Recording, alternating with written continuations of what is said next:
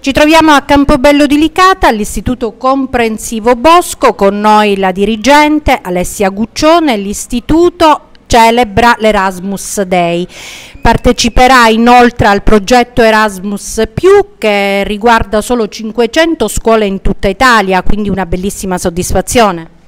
Sì, sicuramente. Eh, dunque, dicevo, oggi pomeriggio è per noi il nostro Erasmus Day, cioè la giornata scelta all'interno di una finestra proposta da Agenzia Nazionale Indire per celebrare il progetto più amato d'Europa, eh, e cioè appunto il progetto Erasmus. La nostra scuola, eh, l'Istituto Comprensivo San Giovanni Bosco di Campobello di Licata, vanta eh, l'accreditamento, cioè alcuni mesi fa abbiamo ottenuto un sigillo che ci permetterà nell'arco di un lungo periodo fino al 2027 di poter pianificare ogni anno previa presentazione di un piano di lavoro delle mobilità. Quindi eh, in maniera differente da quelli che sono i progetti Erasmus annuali, ecco perché si tratta soltanto di cinque, circa 500 scuole in tutta Italia, di cui addirittura gli istituti comprensivi sono soltanto la metà, quindi possiamo dire che per noi è veramente un motivo di vanto, un fiore all'occhiello questo progetto eh, avremo la possibilità nel corso dei prossimi anni di eh, non soltanto garantire la mobilità agli alunni dell'Istituto San Giovanni Bosco e quindi di Campobello di Licata,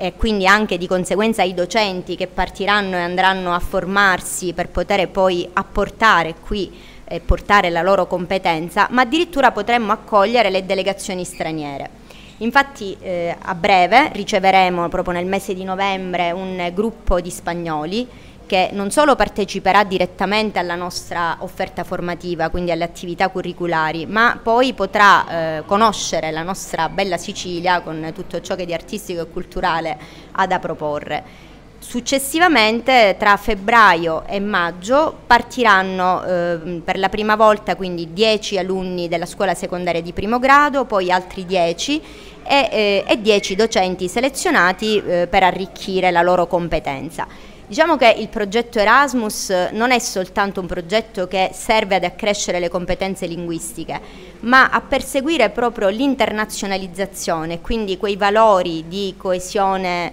eh, sociale, di identità europea e di cittadinanza attiva che, comunque, eh, che sono i valori fondanti del nostro piano dell'offerta formativa.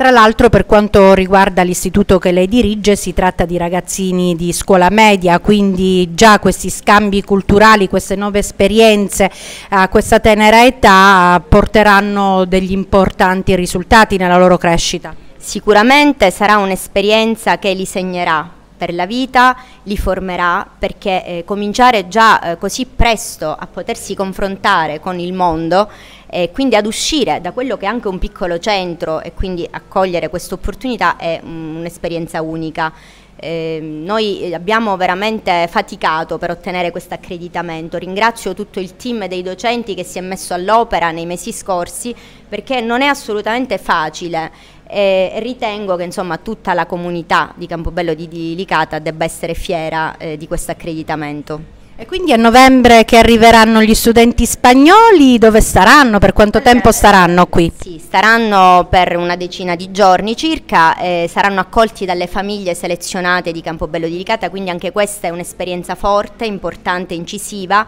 perché, eh, ripeto, l'Erasmus è un progetto in cui si dà e si riceve, quindi la comunità di Campobello si preparerà ad accogliere gli spagnoli, eh, saranno portati in giro alla Valle dei Templi ovviamente, a Catania, a Palermo, non mancano bellezze architettoniche, eh, non mancheranno momenti di incontro con gli enti territoriali e con tutte le associazioni che si metteranno a disposizione della nostra scuola.